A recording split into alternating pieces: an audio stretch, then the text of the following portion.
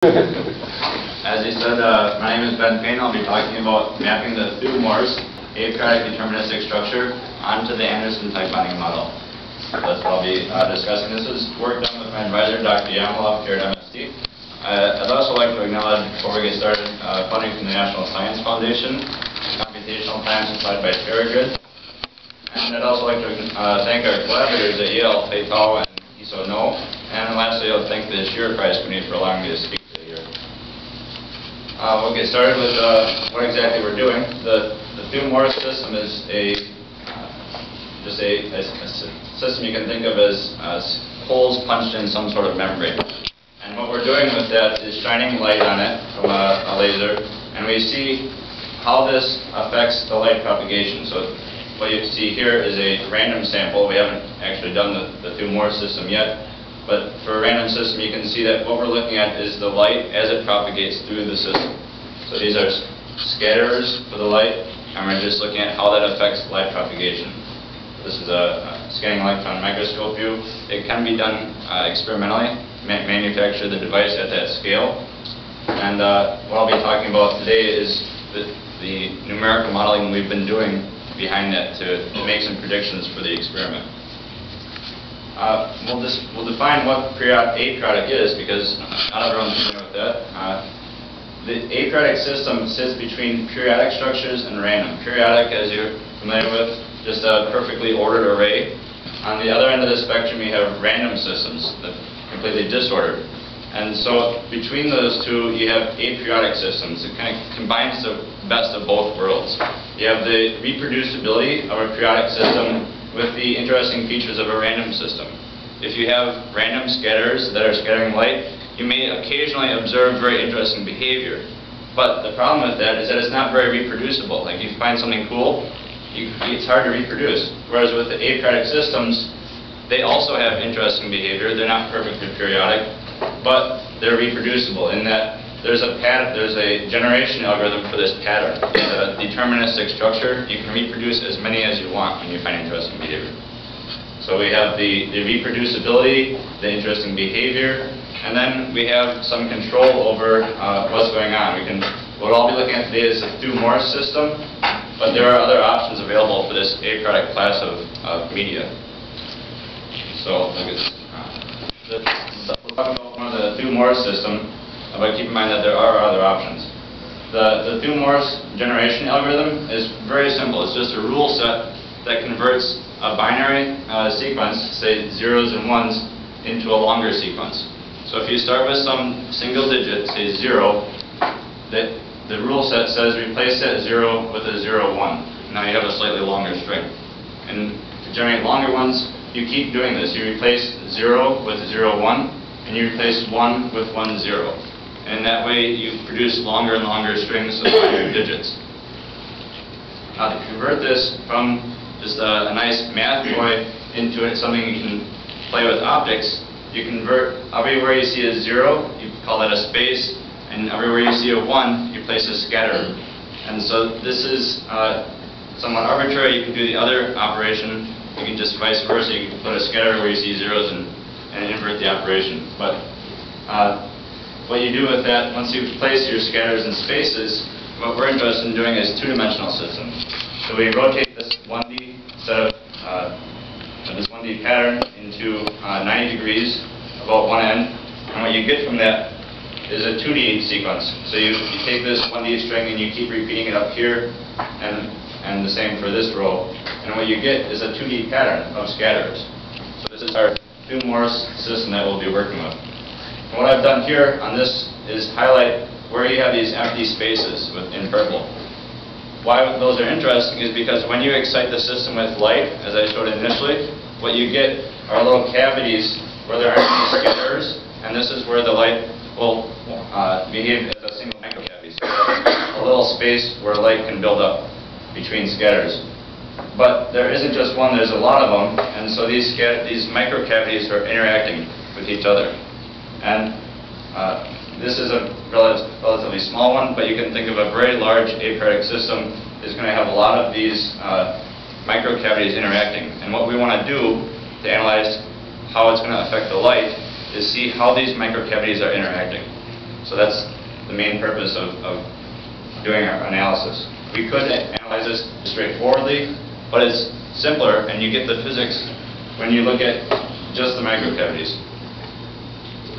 So the first difficulty that we'll face here is describing where these even are. If we're going to try and reduce the problem into something simpler, we want a way of describing where these microcavities are. And that's the first trick up the sleeve. Uh, you take this initially aperiodic system, you find out where all the cavities are, and then you notice something strange. There are these, let's call them rows and columns, so these red and green uh, areas where there aren't any cavities.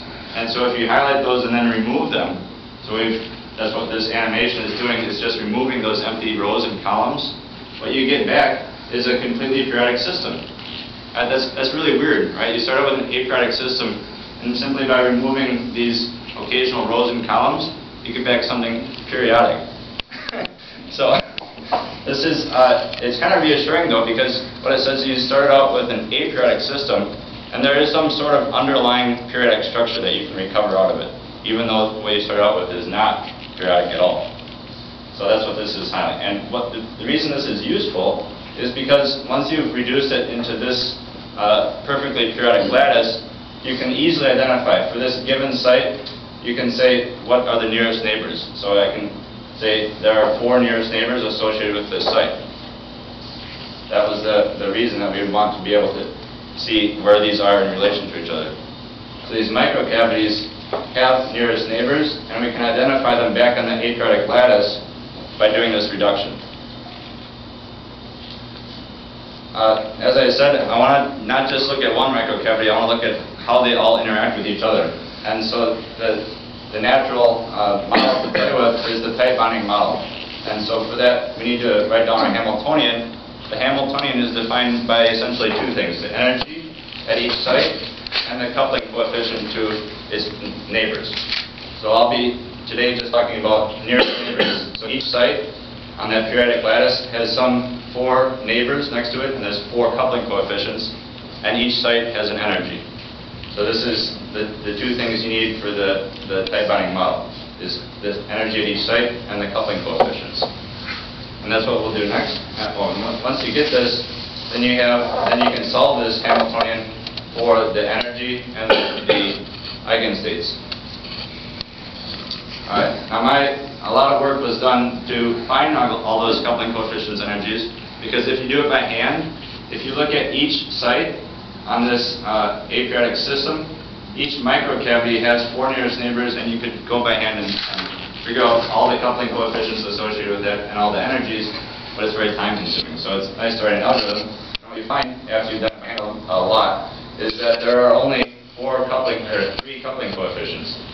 And that's kind of strange because you have a very complex system of, of these interacting microcavities, but there's only three different ways of placing scatters between them. And similarly, when you look at the energies, which I, which we'll define as each site on this, uh, on this lattice is coupled to four uh, cavities, and this is the uh, types of arrangements that can take. So that's going to affect the energy at each site. So this one, you have four nearest neighbors that are very close to the site. That's going to have a very low energy. And again, when you go through, you find that there's only five possible energy levels. So it's kind of interesting because it says you start out with a very complex aperiodic system, and when you do these reductions, you get back uh, just eight parameters that define the system. So we've done some simplifications, and we found uh, a very straightforward way of describing it. Uh, I'm going to take those results that I've defined the Hamiltonian by the uh, energies and their coupling coefficients to the neighbors, and we're going to apply that Hamiltonian and solve it. But first, we'll do a quick review of the tight binding model, in case not everyone is familiar with it. This is what hap- uh, when we plug in all the sites have the same coupling coefficients and the same energies, then we'll, have, we'll call that the perfect bonding model because all the sites are exactly the same and there's no disorder. So this is our, our coupling uh, array. So we have our coupling matrix. What this is, is you have four nearest neighbors for each site. And this is saying that the couplings, which are along these four diagonals, are all the same for each element. And so uh, from this, sol- solving this coupling matrix and the energy matrix uh, for the diagonalizing the Hamiltonian gets you back the energies, and each of these energies has an associated eigenstate. So this is just the perfect tight binding model. What we'll do is now we're going to swap in the aperiodic system, which is going to have a different coupling matrix and different set of energies for each site. That's, this, is the coupling uh, matrix again. And what you get back is a completely different energy uh, band. So there's some, some new gaps here. And when we look at each individual site on this energy band, you can see there are some strange behaviors that you might not initially expect. Because you started out with a big array of scatterers of light. And now, when we excite that system with some incident light, what we see is different uh, arrangements of, of intensities. So here, for instance, I picked out uh, a, specific energy on this band structure that has four major excited modes. So that means, although you're looking at just the cavities on the the cavities on this lattice, what you get back is some sort of uh, hybridized mode of the eigenstate that says all these cavities are interacting as though there were just four large ones. Not similar, well, not similar, but in the same vein, you have more unexpected behavior where you have these cavities are all aligning into effectively one large column with uh, six different uh, rows, which is a somewhat unexpected behavior because you would not see that if you just looked at all the individual cavities. This is saying they all cooperate into one large mode. So this is uh, the excitement because what it says is you can engineer how the light is propagating through this system. What I've, what I've shown so far is that the aperiodic Thue-Morse system can be mapped back onto the aperiodic, back onto the Anderson tight binding model. That's the first, uh, the, re the main result. And then what that allows you to do is the reason you mapped it back onto the in, into the Anderson tight binding model is because that model, or way of describing things, uh, is much more simpler. So you, you looked at the aperiodic system, which is very complex. You mapped it back to a simpler model which retains the physics of interacting modes, but it uh, disregards some of the complexity inherent in the aperiodic structure. So the Anderson tight binding model is pretty useful when you're looking at interactions between different sites. And then this is, uh, the reason that we would even want to do this is because you're interested in uh, engineering or manipulating how the light is behaving in your system. So we looked at the Thue-Morse system. We can tweak some certain parameters of that and then change how the light uh, moves through the structure. Where this is going in the probably next few months or years, uh, what we'll do is uh, our collaborators will be working with a finite difference time domain method to solve what those uh, energies and couplings are. Remember that there were eight parameters that we were interested in, in defining. Those have those are distinct, but they have to be defined uh, a little bit more rigorously for us to accurately. And the reason we want to make predictions is because once we validate that this model is useful with an experiment, so we'll compare our model with an experiment, we can take that and then extrapolate out and use our model to, to make predictions on where the experiment should head. So once we validate the model is uh, a good one, we can use it and then move, uh, guide the, the, where the experiments should, should head.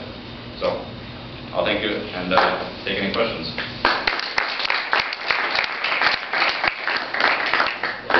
Okay, thank you. Uh, Barbara, you want to go first? Do you know what it is you lose when you do the mapping? I mean, you, you actually you take out part of the structure, right, and turn it into, so, Right. do you know what, do you know what physically you, you lose? Yeah, so this might be a little bit confusing. What we're doing, when we when we make this reduction, Yeah, what we're actually doing there is going back to a periodic lattice so that we can define which are the nearest neighbors. Because when we started out looking at this, it wasn't immediately obvious which ones are Yeah. closest. right, Once we've defined where these lattice sites are, we go back to the initial aperiodic system. So we're just collapsing this to uh, define our coordinate system. Then we go back to the aperiodic system. So you have 1D, 2D, then you have 3D. Right. So, uh, so two, three responses to that. Yeah, our model, I haven't done it personally, but I would imagine I'll I'll project that it would work exactly the same when you do this, this model in 3D. The the collapsing, the mapping, the coupling couplings, energies, all that would also apply in 3D. The other side of the coin is that the experiment is looking at uh, holes drilled in a membrane. So you take just a dielectric and drill some holes into it, and then suspend it in air, and look at how light moves in that 2D system. So the same idea of the model applies in, in 3D or any dimension, but uh, the experiment is going to be done in 2D. So can you, can you give an example for a system, like example for 2D system? So it can be a quantum dot, can be, I don't know, this is. Yeah, you can, you can have quantum dots inside of the dot, so you're asking how to actually produce the experiment?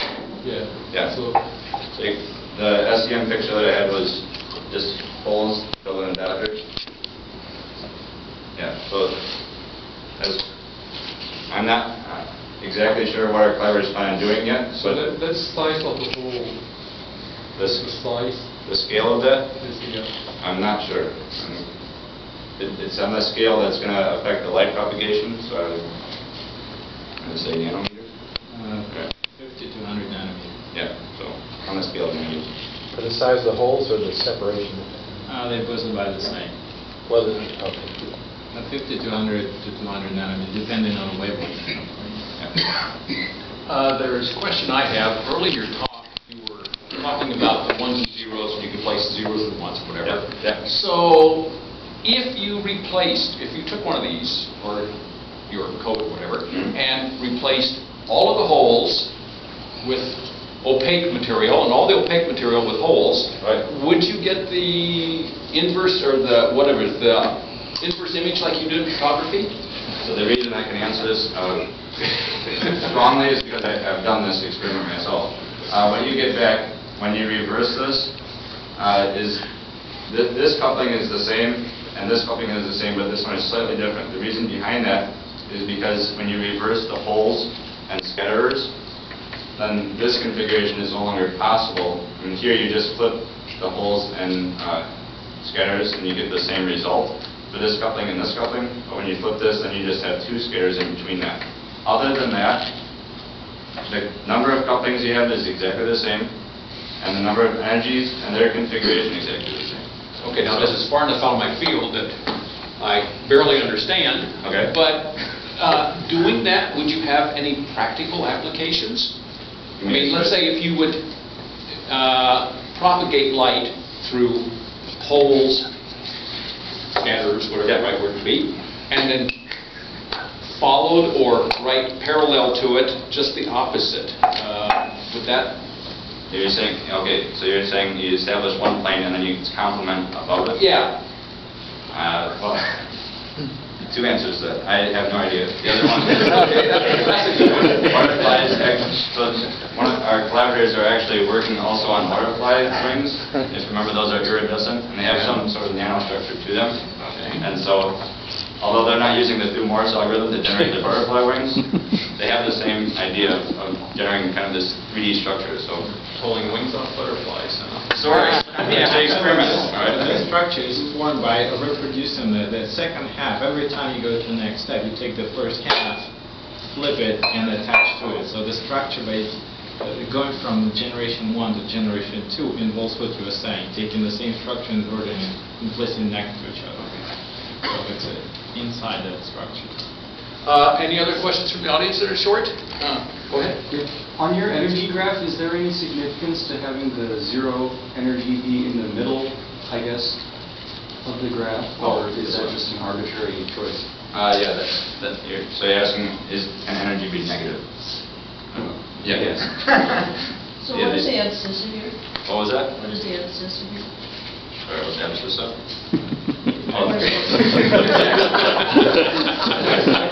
This is your, Got to make a note here. on this axis, you have your site index. So if there, I think for this one, if I recall correctly, there were uh, 650 sites. That means on this APREG, uh, the number of sites that we're actually It's looking at. on the, what is it, the number of sites? Yeah, Okay. yeah. Okay, uh, let's move on to our final speaker. Thank you.